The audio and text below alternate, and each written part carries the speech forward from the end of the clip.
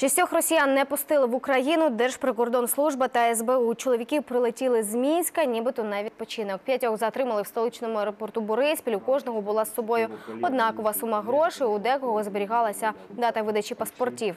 В одного був військовий квиток і жетон на маскувальний халат. Українські спецслужби підозрюють, це може бути професійні армійці, особи причетні до незаконних і злочинних формувань.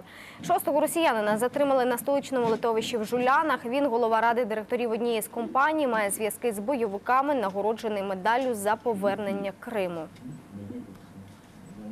Після завершення усіх процедур їм буде заборонений в'їзд в Україну на тривалий термін. І якщо інші правоохоронні органи узгодять це рішення, вони будуть повернуті на територію України, з якої вони прилетіли.